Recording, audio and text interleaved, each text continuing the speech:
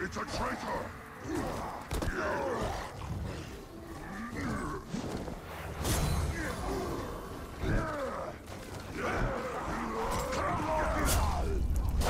was once a sheep, but then I figured it out. Why does the Grave Walker hunt us? Because the Nazgul put him up to it.